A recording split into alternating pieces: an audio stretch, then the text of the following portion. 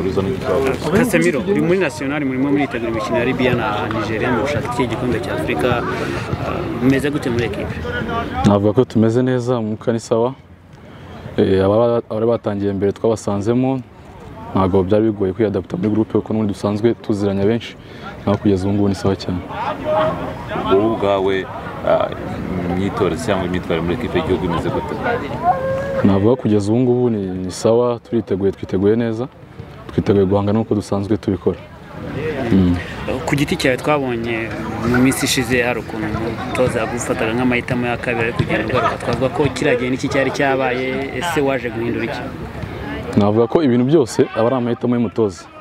Niko yabibonaga kandi ntabwo namujajinga igihe cy'umuntu iyo kigeze n'ubundi ajyamo kandi akabikora neza. Navuga ko ni imana yamfashije no guhozaho birangira n'ubundi nongeye kugarukamo kandi n'ubu ngubu nditeguye gufasha igihugu cyanjye. Muri AS Marsan mumeze gute muri ekipe murimo muritwara neza performance yawe nk'umukinnyi ku giti cye byo ihagaze.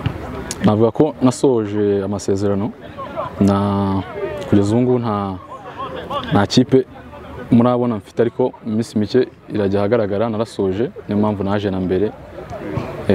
Biravugwa ko ni- n'ikipe wazemo ya APR yakwegereye ngo uzagaruka mu Rwanda ariko usanga atari yo mahitamo ya mbere. Kubera iki wahisemo kuba wajya impamvu navuga ko ari intego ari intego zanjye muri rusange. Eh, hari icyo wenda nifuza kugeraho hanze y'igihugu kirenze kuko byinshi narabibo- narabibonye byo mu rwanda. Nashaka no kugerageza hanze y'igihugu ngo nkomeze ndebe ko nagera kuri level nifuza ku- nifuza kuba ndiho.